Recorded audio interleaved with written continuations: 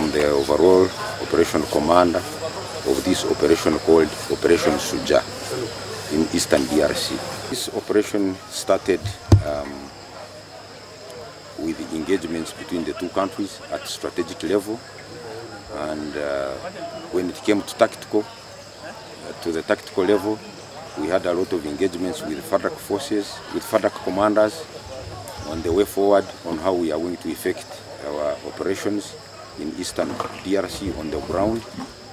And uh, two days back, uh, the operation was launched.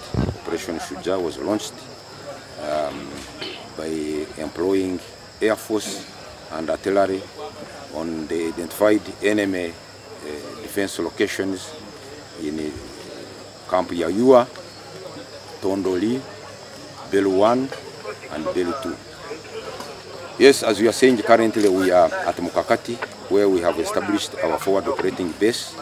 Um, uh, this location is 18 kilometers from the border with Uganda in Usunga. Um, this is where the ground forces will launch the offensive against uh, the AD. And uh, from here to, to Semliki Bridge is about 9 kilometers. This is where we are. Yeah, the information we are getting on the ground and from our friends, the FADAC, is that the, the enemy was seriously punished by own air force and artillery and uh, they have a lot of casualties so far. The duration of this operation will be determined by the military strategic end state. The military end state is of course to defeat the rebels and to defeat their will to fight.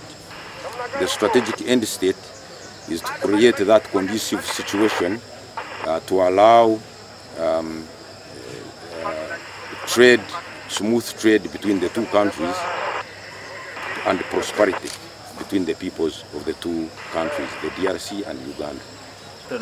We promise the people of Uganda and the Eastern DRC and the people of DRC that uh, we are ready jointly with FADAC, we are ready to defeat the terrorists and we are ready to bring peace back to Eastern DRC.